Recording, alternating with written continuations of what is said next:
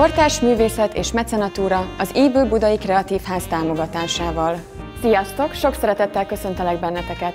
A Kortárs Művészeti Mecenatúra aktuális kérdéseivel foglalkozó sorozatunk következő adását látjátok. Valkó Margit, a Kisterem Galéria tulajdonosa 14 éve dolgozik a hazai galériás szintéren, és már ott találjuk a legrangosabb nemzetközi művészeti vásárok kiállítói között. Művészei között egyaránt megtalálhatók a magyar neo-avantgárd elismert alkotói és olyan fiatal, tehetséges művészek, mint Szinyova Gergő. Kettőjükkel beszélgettünk az értékőrzés fontosságáról, arról, hogyan kerülheti el a visszaesést a hazai galériás szintér, és miben segíthetnek az intézményi vásárlások. 2010-ben diplomáztam, és onnantól az én uh, szakmai célkitűzésem az volt, hogy ebben az absztrakt felfogásban fogok működni és csinálni új műveket, vagy festek majd képeket, és hogy foglalkozom ezzel a, ezzel a technikával. De az utóbbi azt mondom két évben, másfél-két évben változott ez, és behoztam olyan új elemeket, vagy olyan, olyan tárgyi, vagy narratív megjelenítéseket a munkámban, ami már köthető különböző tárgyakhoz, vagy felvetésekhez, vagy témákhoz.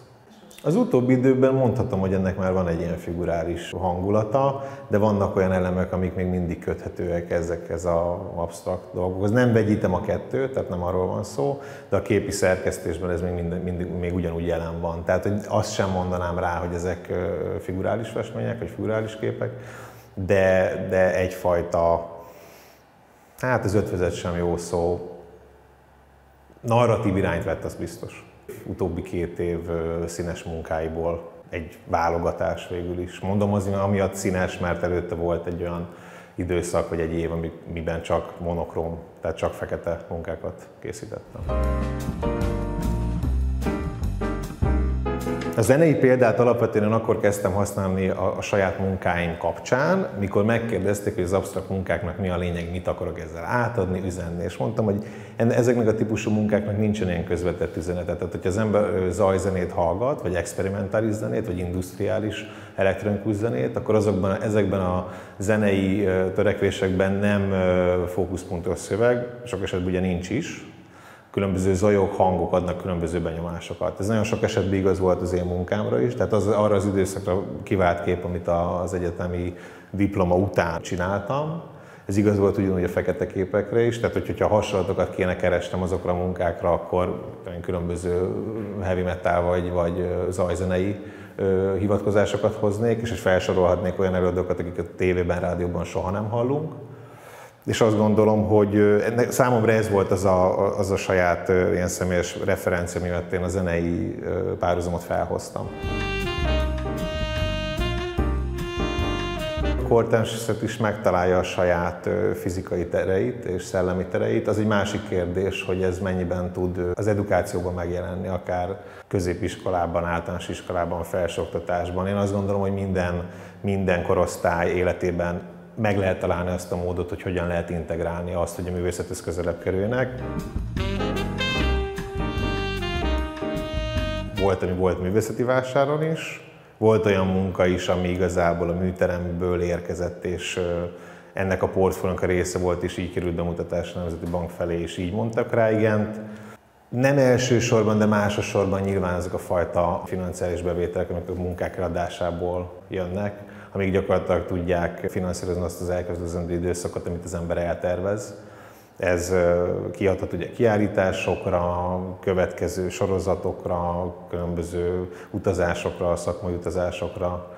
Nyilván minden az embernek a magánéletén túl ezt ugyanúgy számolni kell azzal, hogy van egy szakmai élete mindenféleképpen ez a fajta anyagi biztonság, vagy ez a fajta, ez az összeg meg tudja azt határozni az ember, milyen, milyen szó szerinti fizikai, vagy, vagy átvitt méretben és erővel tud működni. Tehát az, hogy milyen, milyen mennyiségben tud új műveket csinálni, kivitelezés, ugye egy másfajta összeget tud az ember fordítani, szóval abszolút, tehát az, hogy az ember számol azzal, hogy, hogy szabadabban költet ezekre az anyagokra, így nyilvánvalóan igen, persze.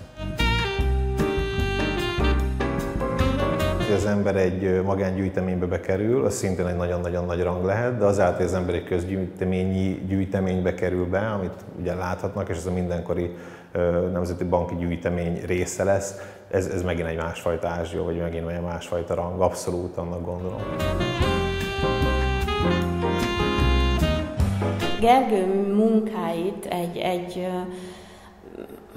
szerencse folytán már nagyon korán a képzőszeti most már egyetem elvégzése után rögtön megismertem, és nagyon újszerűnek találtam, szóval nagyon tehát van ez az élmény, amikor valamire ránézel, és azt mondod, hogy egyszerre ismerős, és mégis nagyon mindenhez képest más, és nagyon tetszik.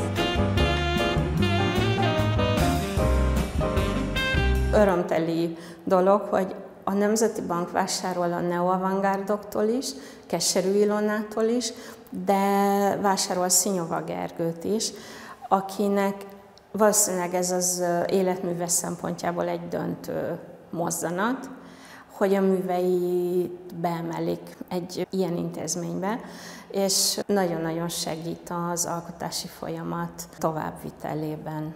Az nem titok, hogy a Kortás Galériának nagyon küzdelmes részt venni a műtárgypiacon. A kortás művészetet azért nehezebb értékesíteni és egy szélesebb befogadó közönséghez eljuttatni, mint mondjuk a nagyon ismert magyar klasszikus moderneket. És ez egy úttörő szerep lehet, hogyha egy intézmény vásárlásokkal támogatja mind a galériákat, mind az egyes művészeket. Tehát ez a kortás galériák továbbműködése szempontjából létfontosságú lehet. Köszönjük megtisztelő figyelmeteket! Sorozatunk következő adásában Molnár Anival és Konok Tamással beszélgetünk. Tartsatok velünk akkor is!